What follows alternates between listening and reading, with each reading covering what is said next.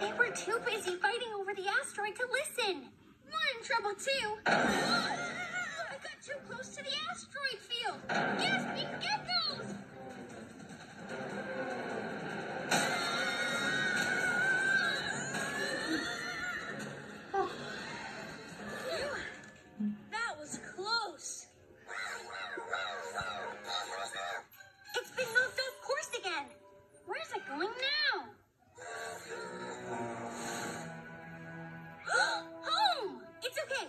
can use the owl claws to move the asteroid safely away.